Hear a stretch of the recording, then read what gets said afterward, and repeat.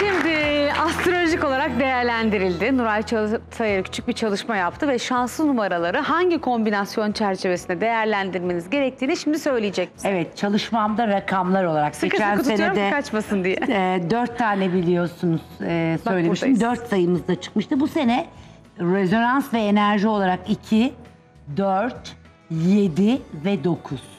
2, 4, 7 ve 9. Yazdık bir Sakın şey. bu rakamları unutmayın. Aldığınız bilette mutlaka birinden biri olsa en azından e, belli bir enerjiyi çekebiliriz. 2, 4, 7, 9. Evet. Benden de 5 olsun. Aa bak de, deneyelim ama içinden geldi. Vallahi benden de 5 olsun. İçimden geldi. Çok Evet, teşekkür ben ederim teşekkür canım. ediyorum. Tabii Canım benim. biz ne diyoruz? Bunlar kombinasyon çerçevesinde Tabii ki. çıkabilecekler değil mi? Şans sizden yana olsun.